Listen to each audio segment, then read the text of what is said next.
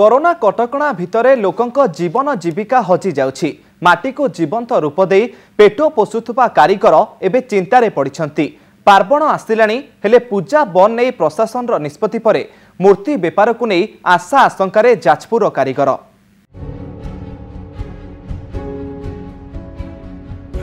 ଖୁଦୁରୁକୁଣି ଓଷା ପାଇଁ ମା ମଙ୍ଗଳାଙ୍କ ମୂର୍ତ୍ତି ତିଆରିରୁ ବର୍ଷର କାମ ଆରମ୍ଭ କରନ୍ତି କାରିଗର।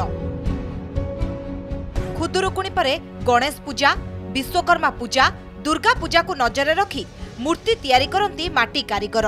ଆଉ ଏହି ସମୟରେ ମୂର୍ତ୍ତି ବିକ୍ରି କରି ଦୁଇ ପଇସା ରୋଜଗାର କରନ୍ତି। ହେଲେ କରୋନା କଟକଣା ଏବଂ ପୂଜା ପାଳନରେ ଅଙ୍କୁଶ ଲାଗିବାରୁ ମୂର୍ତ୍ତି ବିକ୍ରିକୁ ନେଇ ଅଡୁଆରେ ପଡ଼ିଛନ୍ତି ଯାଜପୁର ଭୀମକରପୁରର ମୂର୍ତ୍ତି କାରିଗର। ପ୍ରତିବର୍ଷ ଏହି ସମୟରେ ହଜାର ହଜାର ଟଙ୍କାର ମୂର୍ତ୍ତି ନିର୍ମାଣ ପାଇଁ ଅର୍ଡର ଆସିଥାଏ ହେଲେ ଏବର୍ଷ ଗୋଟିଏ ବି ଅର୍ଡର ପାଇନାହାନ୍ତି କାରିଗର ଭାଲୁକୁଣି ମୂର୍ତ୍ତି ତ ଆମର ଆଗେ ସରିବା ଉପରେ ହେଇଗଲାଣି ଆଉ ତାପରେ ଗଣେଶ ପୂଜା କାମ ବି ଏ ବର୍ଷ ପୁରା ନାହିଁ କହିଲେ ଚଳେ ଆଉ ଏମିତି ଅର୍ଡ଼ର ବି ନାହିଁ ଏ ପାଖାପାଖି ତ ଆଉ କୋଡ଼ିଏ ବାଇଶ ଦିନ ତ ରହିଲା ଏପର୍ଯ୍ୟନ୍ତ ଅର୍ଡ଼ର ବି ଆସିନାହିଁ। ଗଣେଶ ମୂର୍ତ୍ତି ତ ଟୋଟାଲି ଗଣେଶ ଏପର୍ଯ୍ୟନ୍ତ ଅର୍ଡ଼ର ଆସିନାହିଁ ଯାଇ ଛୋଟ ମୂର୍ତ୍ତି ଖାଲି କରିଛୁ ଛାଞ୍ଚ ପିଠା ଏ ଯେଉଁ କରୋନା ପାଇଁ ଏ ବର୍ଷ ତ ସରକାର ମନା କରିଛନ୍ତି ଯେ ଗଣେଶ ପୂଜା ହେବନି ସେଥିପାଇଁ କୌଣସି ଅନୁଷ୍ଠାନ ଏପର୍ଯ୍ୟନ୍ତ ମେଢ଼ ଦେଇନାହାନ୍ତି।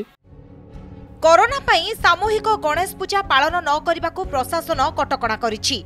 ଏହାକୁ ଦୃଷ୍ଟିରେ ରଖି ପୂଜା କମିଟିମାନେ ମଧ୍ୟ ବଡ଼ ମୂର୍ତ୍ତି ନିର୍ମାଣ ନ କରିବାକୁ ନିଷ୍ପତ୍ତି ନେଇଛନ୍ତି। ପ୍ରତିବର୍ଷ ହଜାର ହଜାର ଟଙ୍କାରେ ବଡ଼ ବଡ଼ ମୂର୍ତ୍ତି ନିର୍ମାଣ କରୁଥିବା କାରିଗର ଏଥର ଛୋଟ ଛୋଟ ମୂର୍ତ୍ତି ନିର୍ମାଣ କରିଛନ୍ତି। ତାହା ବି ବିକ୍ରି ହେବ ନା ନାହିଁ ତାକୁ ନେଇ ଚିନ୍ତାରେ କାରିଗର।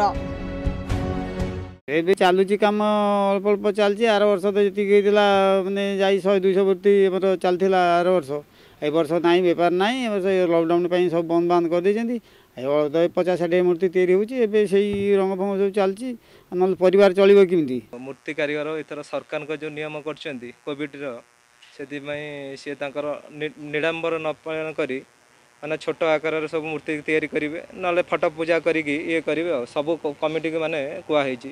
ଦିନ କେଇଟା ପରେ ପାର୍ବଣର ଋତୁ ଆରମ୍ଭ ହେବ ଗଣେଶ ପୂଜା ସାଙ୍ଗକୁ ଖୁଦୁରୁକୁଣି ଓଷା। ତେଣୁ ମୂର୍ତ୍ତି କାରିଗର ନିଜର ମୂର୍ତ୍ତି ତିଆରିରେ ବ୍ୟସ୍ତ ଥିଲାବେଳେ କରୋନା କଟକଣା ଯୋଗୁଁ ମାନ୍ଦା ପଡ଼ିଛି ମୂର୍ତ୍ତି ବେପାର। ଯାଜପୁରରୁ ଅନିଲ କୁମାର ପଣ୍ଡା କନକ ନ୍ୟୁଜ୍।